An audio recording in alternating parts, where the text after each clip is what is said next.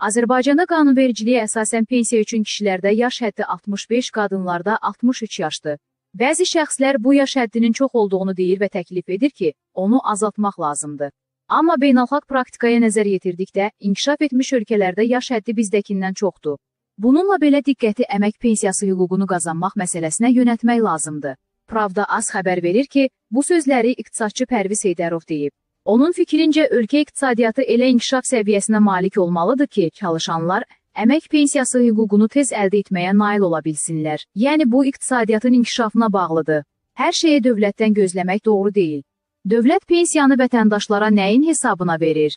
Vətəndaşlara vaxtı ilə bu və ya digər sahədə çalışdıqları və aldıqları əmək haqlarından əldə etdikləri vergi, sosial ayırmaları hesabına yığılan vəsaitin sayəsində verilir. İndi isə dövlət ona çalışır ki, vətəndaşlarımız çalışdıqları sahədə daha çox əmək haqqı alsın, nəticədə ondan da daha yüksək sosial ayırmanı alsınlar. Pensiya hüququ çatanda həmin vətəndaşa həmin pensiyanı ödəmək imkanı olsun. Mən də istəyərdim ki, kişilər üçün 60 yaşında pensiya hüququ tanınsın. Amma dövlət həmin vəsaiti ödəmək gücündə deyil axı. Gərək mən o dərəcədə yüksək səviyyədə əmək haqqı alım ki, 55-60 yaşına qədər elət fərəcə sosial ayırma, dövlətə vergi ödəyim ki, sosial sığorta pensiya məbləği yaransın. Mən də onun hesabına 55-60 yaşında pensiyaya çıxım. Qadınlara gəlincə ekspert qeyd edib ki, ölüm faktını, statistik rəqəmləri incələmək lazımdır. Qadınların pensiya üçün 63 yaşdan aşağı salmaq olar. Qadınlar zərif cinsin nümayəndəsi olduğuna görə kişilərdən 2 il tez pensiyaya çıxırlar, yaş həddini biraz da aşağı salmaq olar. Sosial pensiya sığorta sistemində mexanizm elə səviyyədə təşkil olunmalıdır ki, yaş həddinin aşağı salınmasından danışmaq mümkün olsun. Vətəndaşların pensiya hüququ əldə etməsi üçün pensiya kapitalı təqribən 34 min manat hesab olunur. Həmin vəsaiti pensiyalarla indeksləşdirəndə vəsait dəyişir. Gələcəkdə pensiya kapitalını qısa müddətə əldə etmək üçün iqtisadiyyat güclü inkişaf etməlidir. Bundan sonra vətəndaşlara kredit verilərkən müxtəlif qurumların yazdığı cərimələr də nəzərə alınacaq. Xəzər xəbərin məlumatına görə vətəndaşların təkcə bank kreditləri deyil, həm də onların inzibati cərimələri barədə məlumatları da kredit bürosunun elektron sisteminə əlavə ediləcək. Banklar kredit müraciətlərinə baxarkən həm yol polisi, həm də digər qurumlar tərəfindən yazılan cərimələri də sistemdə görə biləcəklər. İqtisadçı Rəşad Həsənovun sözlərinə görə yeniliyə səbəb vətəndaşları inzibati ötəlikləri vaxtında yerinə yetirməyə təşviq etməkdir. Həmçinin banklar bu yolla vətəndaşların davranışlarının qiymətləndirilməsi üçün dəqiq məlumat əldə edə biləcəklər. Qeyd edək ki, Azərbaycan Kredit Bürosu bu istiqamətdə artıq prosesə başlayıb və dəyişiklik yeni ildən tətbiq ediləcək.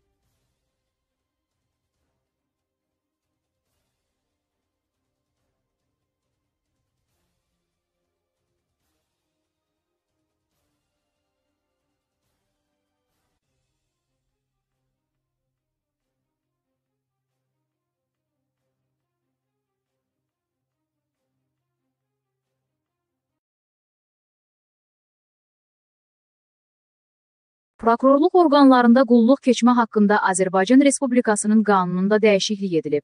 Bununla bağlı Prezident İlham Əliyev müvafiq qanunu imzalayıb. Dəyişikliyə əsasən prokurorluq işçilərinin, o cümlədən onların ailə üzvlərinin tibbi təminatı, tibbi sığorta haqqında Azərbaycan Respublikasının qanununa uyğun olaraq həyata keçirilir. Buna qədər prokurorluq işçiləri, o cümlədən onların ailə üzvləri pulsuz dövlət tibb xidməti ilə təmin olunurdular. Prokurorluq işçilərinin müalicə olunmaları ilə əlaqədar ildə bir dəfə onlara 2 aylıq əmək haqqı məbləğində bir dəfəlik pul müavinəti verilirdi. Bundan başqa sənədə əsasən hərbi prokurorluq orqanlarının prokurorluq işçisi olan hərbi qulluqçularına bu qanun və prokurorluq haqqında Azərbaycan Respublikasının qanunu ilə müqayisədə hərbi qulluqçular üçün Azərbaycan Respublikası qanunlarına əsasən müəyyən edilmiş daha əlverişli şərtlərlə pensiya, tibbi və başqa növ maddi və sosial təminatlar şamil edilir. Dəyişikliyə qədər hərbi prokurorluq orqanlarının hərbi qulluqçularına əlavə olaraq Azərbaycan Respublikasının qanunları ilə hərbi qulluqçular üçün müəyyən edilmiş pensiya, tibbi və başqa növ maddi və sosial təminatlar da şamil edilirdi.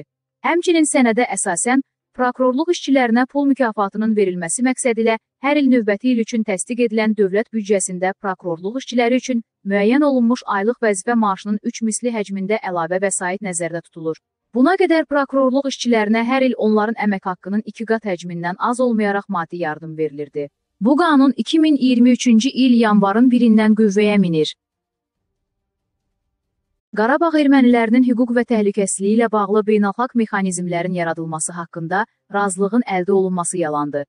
Bunu reporta Azərbaycan prezidentinin köməkçisi prezident administrasiyasının xarici siyasət məsələləri üzrə şöbə müdiri Hikmət Hacıyev, Ermənistan Təhlükəsizlik Şurasının katibi Armin Qriqoryanın Vaşinqtonda Qarabağda yaşayan ermənilərin hüquq və təhlükəsizliyi barədə beynəlxalq mexanizmlərin yaradılması barədə güya razılıq əldə olunduğuna dair bəyanatla çıxış etməsinə münasibət bildirərkən deyib. O, Ermənistan Təhlükəsizlik Şurasının katibi tərəfindən aparılmış müzakirələrin mahiyyətinin birtərəfli qaydada təhrif olunduğunu təəssüflə qeyd edib. Oktyabrın 13-də Azərbaycan mediasına verdiyi müsahibədə Vaşinqtonda keçirilmiş müzakirələrin məzmunu və mahiyyəti barədə ətraflı məlumat verilib.